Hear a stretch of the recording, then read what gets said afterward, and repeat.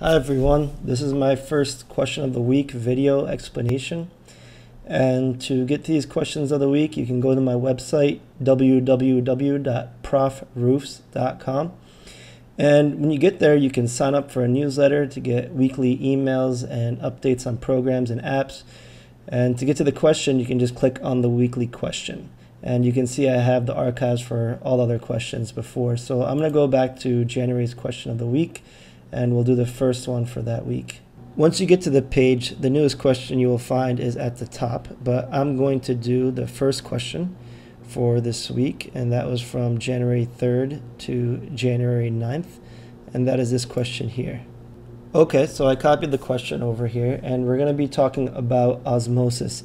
And we have three conditions. We have over here beaker A, beaker B, beaker C, and inside each one of them you see a red blood cell.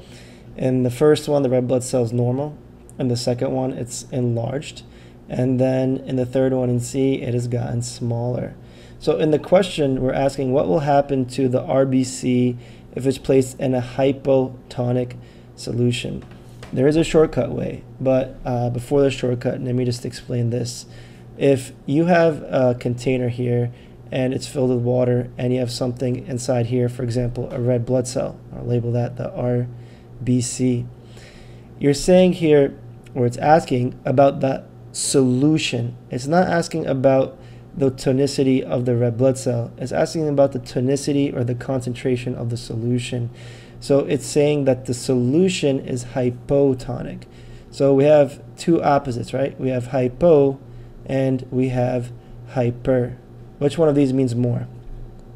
Hyper. Hyper means more. Think of somebody who's hyperactive. They got a lot of energy. Hypo, that means less. So we're talking about the solution. So the solution outside the cell. So that's here. So there's going to be less solutes compared to what's inside the red blood cell. So I'm just going to pick another color here. So we're saying hypo. So let's put like, you know, one, two, maybe three.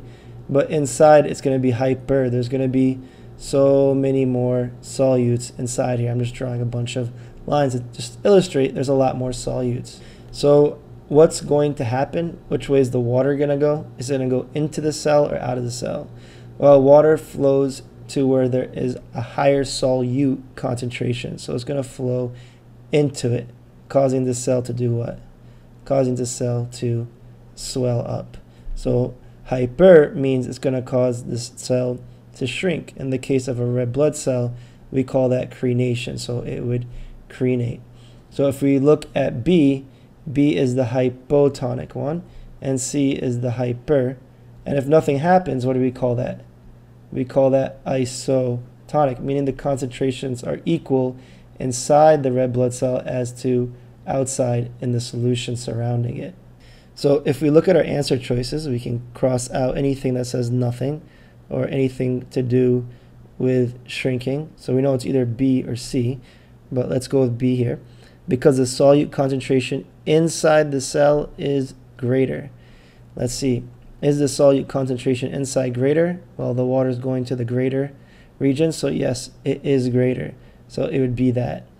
The other one says the solute concentration inside the cell is less than the surrounding. No, that is what would happen for the cell to shrink, as in C, a hypertonic solution. So one way to think about this is think about like if you eat french fries, french fries are really what? They're really salty. And after you eat something really salty, what do you want to do? You want to drink water. So wherever there's more solute, more salt, the water is going to head towards it. So again, clarify what the question is saying. We're talking about the solution. The solution is hypotonic. So the solution is going to have fewer solutes. That means inside there's more, and water is going to head to wherever there's more solutes. What's a shortcut way of remember this? I don't know if you've seen this before, but if you write this, hypotonic. That way you know anything in a hypotonic, that cell will swell up. I hope you enjoyed this video explanation, and if you want, there are more. All you got to do is just click and then cast your vote. You can also see the results by clicking view results under each question, seeing how everybody else voted. If you go to the website, you can click on the registration link, create an account, even use social media. You can go up to discussion forums, and you will find here discussion forums where you can get study help, talk about medical school, nursing school, and other topics. Share this with friends, and even come here to create your own study groups. And I'll do my best to answer your question in under 24 hours. Take care.